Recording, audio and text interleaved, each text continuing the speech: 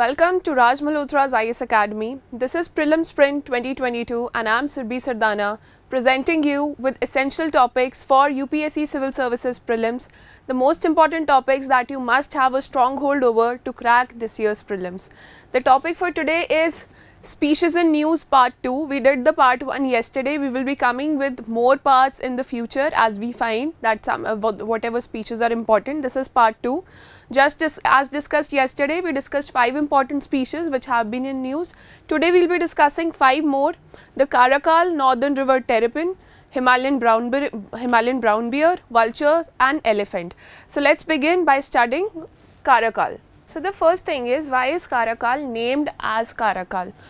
Caracal has been, uh, this word has been, is a Persian word. It is derived from two words. One is Kara meaning black and Kula meaning ear. तो काराकाल के काले कान की वजह से उसका नाम ऐसा पड़ा है। और इसका जो कंजर्वेशन स्टेटस इंडिया में है वो क्रिटिकली एंडेंजर्ड है। लेकिन IUCN के अकॉर्डिंग इसका कंजर्वेशन स्टेटस लीस्ट कंसर्न है। IUCN status is least concern well critically endangered in India why is it critically endangered in India look here. 90% more than 90% of habitat loss has happened of this wild cat. This might this uh, wild cat might go चीता के बाद ये second wild cat होगी जो कि India से ख़त्म हो सकती है लुप्त हो सकती है so this is the second wild cat to go extinct that's why starting about this is very important इसका जो पहले हैबिटेट था वो इंडिया में काफ़ी जगहों पर था but now it has been restricted to only three states of Rajasthan, Madhya Pradesh and Gujarat. This area in red, this is the only habitat left and that is also getting destroyed time by time. In fact, in Ranthambore, the last stronghold of this, of this cat is left. As here you can see, this area in purple and here we have marked Ranthambore in red and all its habitat that, that is under threat. So, it is a medium sized wild cat native to Africa, Middle East, Central Asia and South Asia including India. Here you can see in the map Africa, Middle East, South Asia including India. In India, it is found in the northwestern part including Madhya Pradesh and Gujarat. So that is uh, that is where it was found, that is where it is currently found, but it is critically endangered in India. We need to save this wildcat. Also, it is included in the Wildlife Protection Act Schedule 1. Schedule 1 में जो भी uh, animals या birds आती हैं wild life protection act के उनको बहुत ज़्यादा कंजर्वेशन एफर्ट्स की रिक्वायरमेंट होती है। उनका स्टेटस एंडेंजर्ड या क्रिटिकली एंडेंजर्ड होता है उनकी पॉपुलेशन बहुत जल्दी से घट रही होती है। So it is in wild life protection act schedule one so that's an alarming situation for saving this for saving this wild life species habitat क्या होता है? Grassland forest it is a nocturnal animal ये रात को जागता है और hunting रात को करता है। It is a it has a very historical significance it is known to catch flying birds ये उड़ती हुई चिड़िया को भी uh, का भी शिकार कर सकता है। So that's why it was very important with kings in the historic times and as of now it is very important for the ecology of these forest so as I said that it can catch flying birds also so this this cat here as you can see it is a carnivore okay it feeds on mammals birds and rodents it uh, it does its all the uh, hunting activities in night it is a nocturnal animal what are the threats that are there to its survival इसके habitat के लिए threat क्या क्या है पहली बात ये चंबल रेवीन्स में पाया जाता है as I told you that it is found in Ranthambore area of Rajasthan so in Chambal ravines वो चंबल रेवीन्स को हमने वेस्टलैंड डिक्लेयर किया हुआ है so its habitat gets fragmented there it uh, its habitat is getting lost and when road or uh, construction activity takes place it ha its habitat gets fragmented that's why the population of Caracal is dec uh, decreasing uh, with time. You just have to remember its conservation status, its food habits and where is it found. Remember that broadly for any animal or species that we are discussing here that much would be more than enough. Now moving on to the second animal for today, it is northern river terrapin. So this was in news ये एक turtle है इसकी population decrease हो रही थी। तो जो wild life experts थे उन्होंने क्या किया? इन टर्टल्स के ऊपर जी पी एस चिप्स लगा दी। G P S chips were placed on these turtles and it was found that within like a few weeks और a few days these turtles went from Sundarban area to Bangladesh so they migrated migrated from uh, one country to another country. So that's how wildlife experts could track their location. As you can see here, it is written that animals in nature know no international boundaries. Already हम struggle कर रहे हैं इनकी population बचाने के लिए and these turtles have migrated from Sundarbans to Bangladesh. So that was an uh, that was a point of concern and wildlife professionals could know it because GPS chips were placed.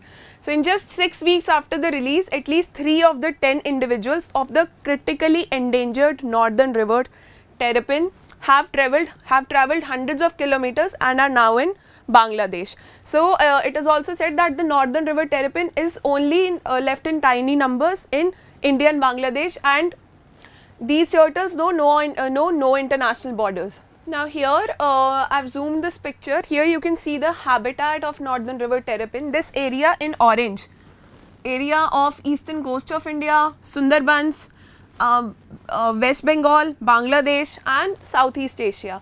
ये है इस turtle का habitat and a lot of migration of turtles takes place especially due to the seasonal variations so the special part about this turtle is that it is one of the largest riverine turtles and its status is critically endangered it is listed in wild life protection act schedule one critically endangered इसका I U C N status है। CITES के appendix one में इसको register किया गया है तो इसकी पॉपुलेशन बहुत कम हो रही है। So northern river terrapin is a species of river riverine turtle native to south east Asia it is one of Asia's largest fresh water and break water turtle so remember about this about this characteristic of this turtle and this is very important from examination point of view moving on what is its habitat ये turtle एक omnivore है plants और animals दोनों पर feed करता है and it mostly stays in the water don't confuse this with olive ridley turtle we'll do olive ridley turtle later olive ridley turtles are vulnerable this turtle is critically endangered so this is very important the habitat is that it is omnivorous and it is currently found in Bangladesh in India Indonesia and Malaysia and it is regionally extinct in these areas. So you have to keep this map in mind which I just zoomed. Uh, download the PDF for this presentation later from the link in the description below and check the habitat for yourself and remember it for the exam. The special uh, physical characteristics of this turtle is that it has an upturned snout. Look at here, look here. This turtle has an upturned snout and what are the threats? The first threat to any species living in the sea or ocean is pollution, loss of habitat, pollution, loss of habitat. Thirdly, when uh, you know uh, जब fishing के लिए fisherman uh, जाते हैं तो उनके nets में turtles भी trap हो जाते हैं सो unknowingly or unwantedly such turtles are trapped within the fishing nets of fishermen also um, accidental deaths are happening destructive fishing practices are there Mangrove forest जो कि इनका हैबिटेट है that is that is decreasing with time and also hunting also takes place in trade also takes place for this turtle so due to all these problems coming up the habitat of this critically endangered species is getting lost the next one is Himalayan brown bear the special part about this bear is that it is one of the largest animals in the highlands of Himalayas so Himalayas में इससे बड़ा जानवर आपको देखने को नहीं मिलेगा Himalayan brown bear से बड़ा what is its area where it is found it is found in parts of hilly areas of India parts of you know Jammu and Kashmir Himachal Pradesh Uttarakhand there it is also found in Pakistan, some areas of Tibet and China. So this uh, area in pink is the is the breeding is the surviving ground or the surviving habitat for Himalayan brown bear. its conservation status is critically endangered due to the hunting due to the overpopulation and loss of habitat इसकी population decline हो रही है and this is an alarming bell for India. China also had a similar bear the white colored panda. So so, China ने इतने efforts किए कि उस पांडा uh, का आई स्टेटस अब आई थिंक वलनरेबल है. Earlier it was towards endangered so the population has increase due to efforts of China but we also need to have similar efforts in case of Himalayan brown bear because एक तो ये मिलता बहुत कम जगह है and India is one of the main location where it is found secondly its population is decreasing at a very fast rate it is listed in CITES appendix one and obviously wildlife protection act के schedule one के under आता है. Its status is critically endangered and you have to remember that it is largest animals found in the Himalayas so habitat it occupies the higher reaches of the Himalayas in remote mountainous areas of Pakistan and India small population is also found in Tibet and autonomous autonomous region of region of China and Bhutan food habits की अगर इसकी बात करें तो ये omnivores होता है. Plants और एनिमल्स दोनों पर फ़ीड कर सकता है. And hibernation is one of the most distinctive features of this uh, brown bear that it hibernates in winters habitat loss uh, हो रहा है ओवर पॉपुलेशन है hunting also takes place in these hilly areas hunting takes place on a regular basis it is a very normal thing to do for the local population uh, they don't know that the animal is under you know wildlife protection act schedule 1 so that is an illegal activity people in fact consume its meat so uh, poaching is there for the fur and its uh, other body parts hunting is there overpopulation and loss of habitat these are the threats to himalayan brown bear so remember its conservation status remember where it is found and remember its uh, iucn conservation status especially the next animal is vultures or the bird uh, that we are going to discuss now is vultures and its status in India. See there are uh, 23 species of vultures होती हैं वैसे India में 23 में से nine species पाई जाती है, उनमें से आठ तो गुजरात में ही पाई जाती हैं। तो वल्चर्स का जो स्टेटस है, हर स्पीशीज़ के लिए अलग है। Mostly it is critically endangered endangered and कुछ स्पीशीज़ हैं जो कि लीस्ट कंसर्न कैटेगरी में भी आती है।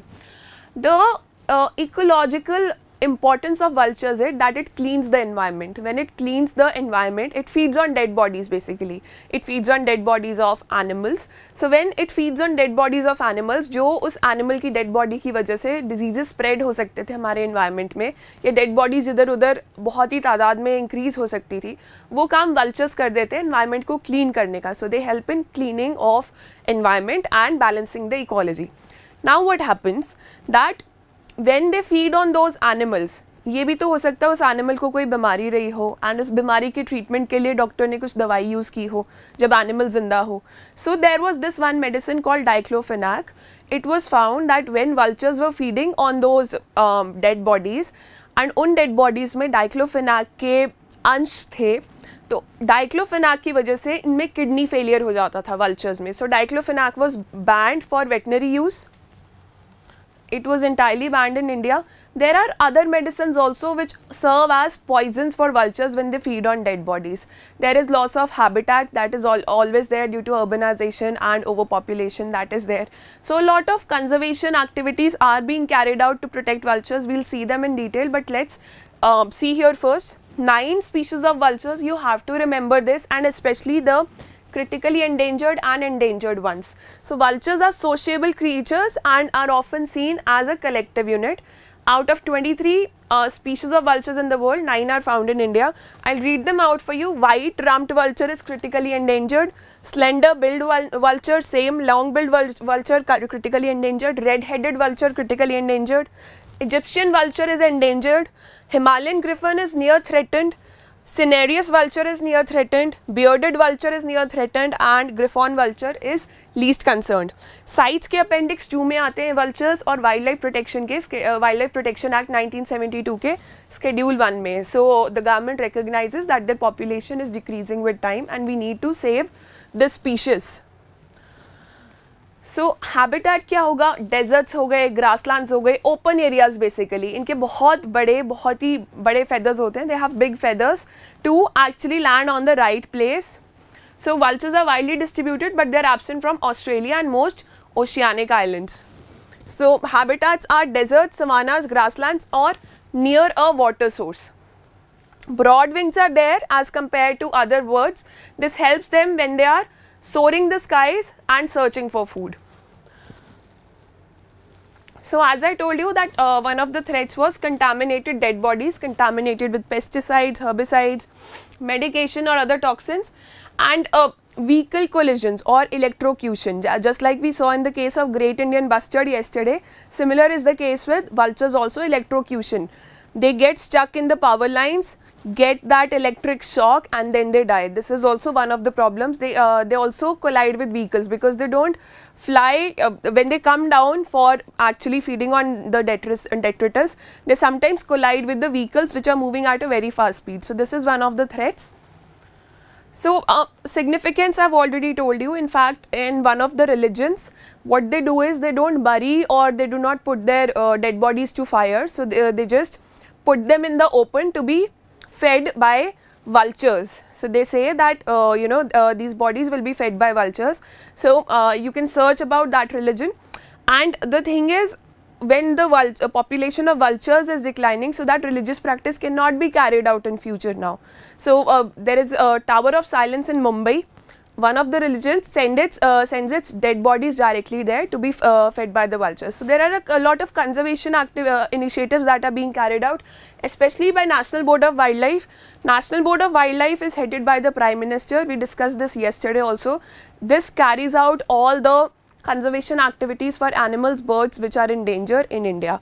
And अगर किसी एरिया को कंजर्वेशन एरिया डिक्लेयर किया आ, किया जाता है प्रोटेक्टेड एरिया डिक्लेयर किया कर दिया जाता है किसी भी स्टेट के द्वारा तो national board of wild life की परमिशन लेनी पड़ती है। वहाँ पर कोई भी डेवलपमेंट एक्टिविटी कैरी आउट करने से पहले।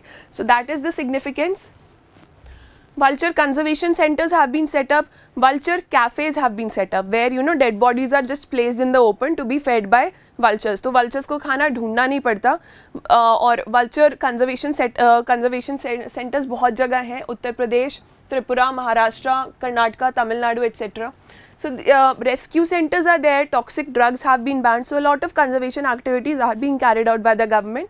Download the PDF and read them out for yourself so that you can remember it for prelims. Moving on. The fifth one is the elephant. We will be discussing both uh, both types of elephants. First is the African elephant, second is the Asian elephant. India में Asian elephant ही पाया जाता है. African elephant, as you can see this uh, area in red, mostly found in Africa only, nowhere else. जो Asian elephant है Asia is not just restricted to India we have Bangladesh also we have south east Asian nations so it is ये जो green में आपको area दिख रहा है this is the habitat of Asian elephant so Asian elephant is this here in green so we'll discuss both these elephants turn by turn so talking about Asian elephant Asian elephant is the largest mammal on the continent of Asia just talking about Asia, the largest mammal that can be found on uh, in the continent of Asia. So, it has a lot of habitats, it is found in South Asia, Southeast Asia and there. IUCN has listed as it as endangered. So, as you can see with the uh, from the conservation status कि इसकी population बहुत कम रह गई है. Cites Appendix 1 against highest level of protection. Wildlife Protection Act 1972 Schedule 1 highest level of protection. You know questions on tiger lion and elephant are alternatively asked by UPSC अगर पिछले साल टाइगर पूछा गया है या एलिफेंट पूछा गया है अगले साल लायन पूछा जाएगा या हो सकता है तीनों से क्वेश्चंस सेम पेपर में भी देखने को मिले and questions are separate for these these three animals so prepare elephant tiger and lion and the animals that we are discussing here especially in detail because environment questions वहीं से solve हो जाएँगे so habitat जो India में देखा जाता है, वो फोर एरियाज़ में फ्रेगमेंटेड है।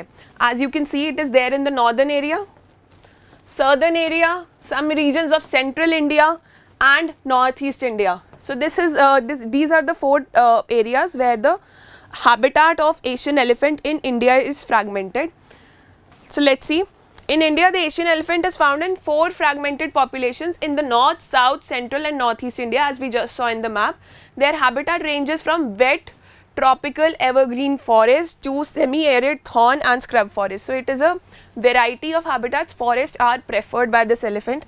However, the highest densities of the elephant population are found in tropical deciduous forest here in the south The special part about this Asian elephant is here it describes the habitat where is Asian elephant found okay this is uh, the right this is the thing in green where it is found so the significance about this elephant is कि बहुत ही socially active होता है plus it walks in groups there was a previous year question that it was said that it is uh, the head is a matriarch यानी कि this group of elephants is led by a female so they form uh, they follow matrilineal so asian elephants are extremely sociable forming groups of 6 to 7 related females that are led by the oldest female the matriarch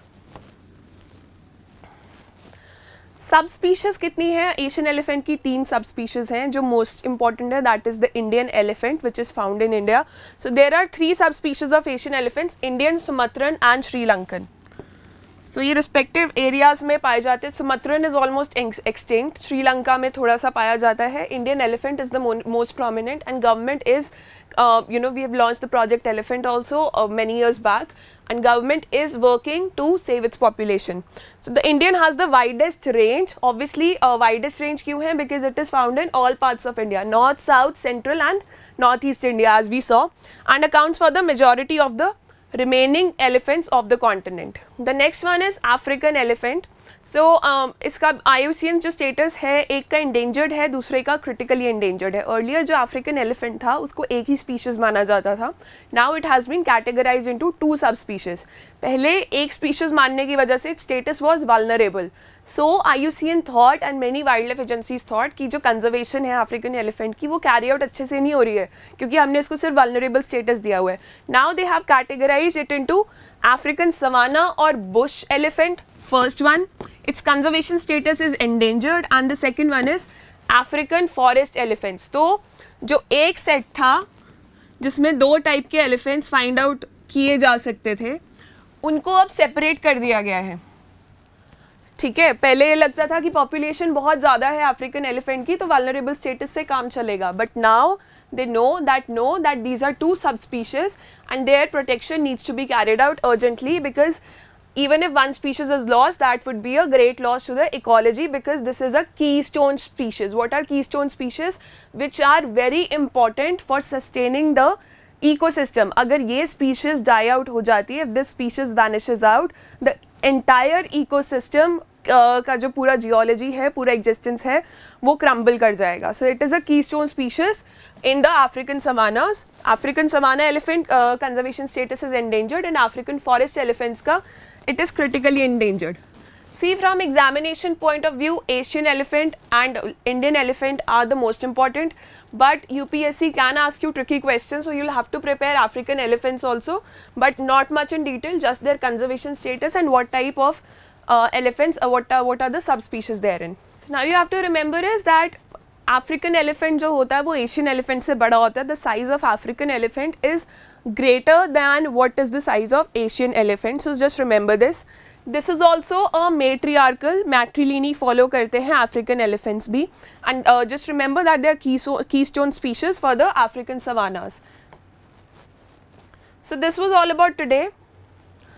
Uh, we'll be coming up with more species in the subsequent lectures but tomorrow we'll be taking a topic from some other subject so that all subjects get e get equal weightage and you can complete all the important uh, points that are there for, uh, for prelims. Go through the yesterday's video that was there uh, that we discussed the five species about and download the PDF for this presentation from the link in the description below. I'm saying again, it will take you to our telegram channel and from the telegram channel you will be able to download the PDF. So keep working hard, stay tuned, follow this initiative. This will definitely uh, help you get a lot of you know questions right in your prelims exam. So stay tuned, keep working hard and see you with another discussion tomorrow.